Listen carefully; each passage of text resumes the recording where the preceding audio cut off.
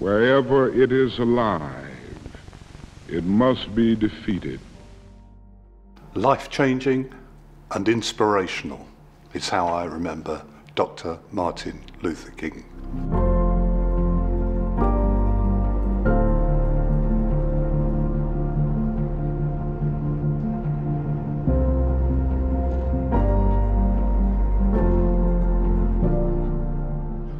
I was in uh, my first month as photographic editor of the university newspaper. I was told that Dr. Martin Luther King would be coming to receive an honorary degree in November. And that was momentous as far as I was concerned because I had read about Dr. King in the past few years with various incidents in America and I did understand what his civil rights movement was about. I remember very well meeting the party with Dr. King. On the way into the room, one of the um, entourage with Dr. King um, asked me, What's the scene here, man? And I just answered, not really thinking it through, that we were going to have coffee, um, have a little chat, and then at the appropriate time would go down to the hall for the ceremony. I didn't realise until someone told me later that he was asking what the racial situation was like in England.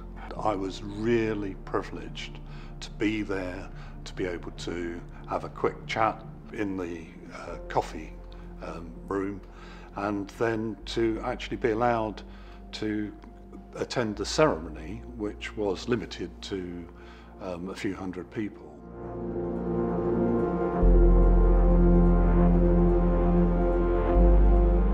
Speech itself was life-changing, phenomenal. In particular, the sense that you can't change people's hearts but you can change the law was something that I've taken with me for the whole of my life.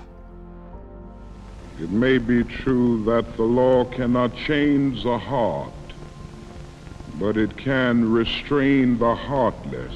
And so while the law may not change the hearts of men, it does change the habits of men if it's vigorously enforced. And I've been involved because of that in various things such as the local authorities against apartheid in, in um, the UK when I was a councillor for Chesterfield.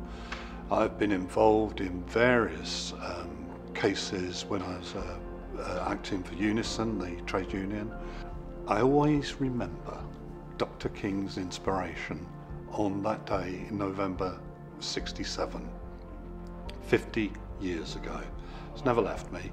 I think that the life-changing aspects of Martin Luther King resonate across the world. There's a lot of people who've seen his speech, who know what he stood for, are aware of the peaceful protests and his civil rights movement rather than armed struggle uh, protests. And I believe that that's the right way that day, giving that speech, and the reaction of the people who were there on the day, and people who read about it afterwards, I think was um, just monumental, life-changing for a lot of people.